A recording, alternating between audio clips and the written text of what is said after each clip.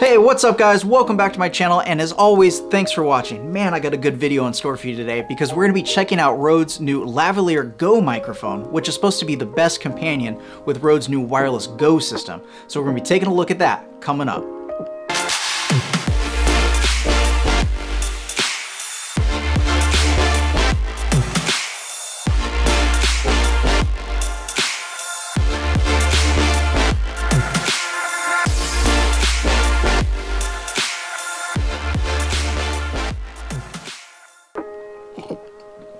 Hey, real quick, before we get into the content of this video, if you haven't already subscribed to my channel and you want to learn more about what it takes to make YouTube videos, gear reviews that'll help you along the way, tips and tricks and tutorials and all that good stuff when it comes to photography and filmmaking, as well as how to grow your brand on social media, make sure you subscribe and hit that bell to be notified for my next video. Oh, and if you find this video helpful, give it a thumbs up. Alright, here it is, Rode's new Lavalier Go microphone let's check out what comes in this box. It comes in this nice leather pouch. Well, really, it's probably vegan leather, you know? Fake leather. Mmm, feels really good. So let's see what comes in the bag. We got the clip for the wire. Get the microphone itself. Oop.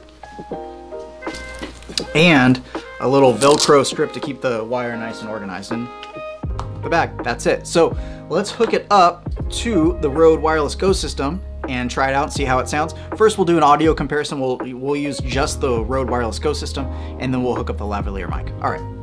The audio you're hearing now is with just the Rode Wireless Go system. It's plugged in to my A6400. I have it set on the medium decibel setting on the receiver, and the A6400 volume is set to two. So this is the audio with the Rode Wireless Go system. This is an audio test, one, two, three. All right, so now let's hook up the new Lavalier Go microphone and hear the difference. All right, so now I'm mic'd up with the Lavalier Go with the Rode Wireless Go system. How's it sound? Does it sound a lot better? Let me know down in the comment section. I mean, you're gonna be hearing this before I do, or wait, I will hear it before you do because I'll be editing the video, but you know what I mean. Let me know how this sounds down in the comment section below. So this is an audio test with the Lavalier Go microphone. This is an audio test, one, two, three, audio check. Let me know how this sounds.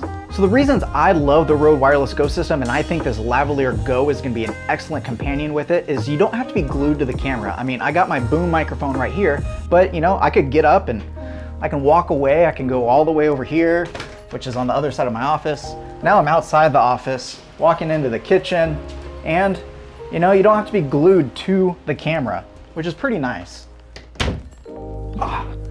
So that's definitely a benefit of going wireless. Now, who's the Lavalier Go for? I wouldn't really recommend it for vlog style video. I mean, then you'd have to mic up every time and hide the cord. It's not really ideal for that, but it's perfect for this. If you're in a studio doing YouTube videos and you want some good audio quality and you don't wanna have to boom the microphone, this is a great option. Let's talk about the features of this Rode Lavalier Go microphone. It's a broadcast grade lavalier microphone with a 3.5 millimeter TRS jack and is a high quality omnidirectional condenser capsule, meaning you don't have to face the microphone a particular direction. You can face it any direction and it should, you know, pick up the sound perfectly. It has a durable Kevlar reinforced cable. It's optimized for use with the Rode Wireless Go system, and it includes a pop shield, mounting clip, and carrying pouch. Um, I'm not reading this off the website. You're reading it off the website. Well, that's the Rode Lavalier Go microphone. It's pretty awesome. It pairs nicely with the wireless Go system. It just plugs right into the transmitter. You can clip it onto your belt or your pants or whatever and then just mic up. Something I noticed though is it does come with the pop filter already on the microphone. So to use the clip, you need to pull the pop filter off. And then this little clip, you can just squeeze it and then connect the, the condenser microphone and put the pop filter right back on and then you're good to go. And then because this is omnidirectional, you can face it any way on the person you're miking up and it should pick up the sound nicely. Well, that's it for this video, guys. Let me know down in the comment section again what you think of this microphone, and if you want to check it out, I'll link it down in the description of this video. If you found some value in this video, give this video a thumbs up on your way down there, and don't forget to subscribe and hit that bell to be notified for my next video. Oh, and then by the way, did you notice something different? Kind of I'm using a different lens, so it's a, it's a wider angle lens. What do you think?